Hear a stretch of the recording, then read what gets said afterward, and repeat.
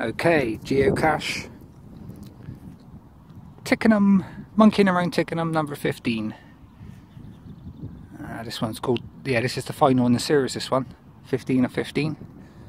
And uh, yeah, we just found it. The clue was walk over the bridge and look. Hello, if you're still on yet. There, there is a geocache up there where I am. I can get. This phone's crap, mind. It keeps jumping about. There's no wings for it, but it keeps jumping about. From 8 metres to 50 metres all the time. I will come back up and have a look for it, mind. When it's, uh, when other phone comes back off eBay. Yeah, I should hope so, Kev, as well. Right time. Lures me finding loads and you haven't found one, you bastard. Anyway, the clue was cross over the bridge and look back at the Red Hot Chilies or, or All Saints. God knows. So what we did, we crossed over there. This is crossing the Land Yeo, the Land Yeo River. This is the Land Yeo, as you can see. It said cross the bridge. So we did. Came out the other side. Naughty Clive when it opens.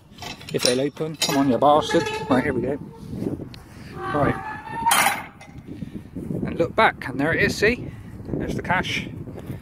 Yeah, it's quite unique, this is, because uh, on this one, it's a very unique way they've made you log your username on the logbook. As you can see, look. It's the cache with all the bits and bobs in. I'll put the log there because that's how you log it. Yeah, so let's get some light, that's better. There's other people's logs that they left behind because it's a log maker it is. Weird. Yeah, back look.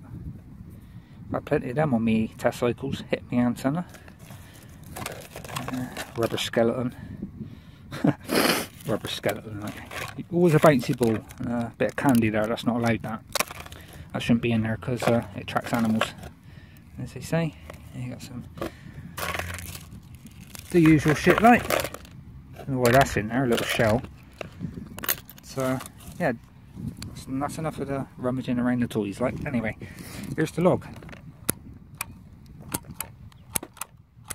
See, spells your name. You've got to turn it and it spell your name out. So what I've got to do here now to, to log me strip is putting me, yeah, twist, twist that so it comes up in that dial there. So I've got to put obviously Steve. Does it go the other way or not? Yeah, it will. There you go. Uh, yeah eventually I'll be able to get my log strip out. Anyway, thanks for watching, 73, hopefully catch you on the next one, if today, if not today, another day. 73 and thanks for watching.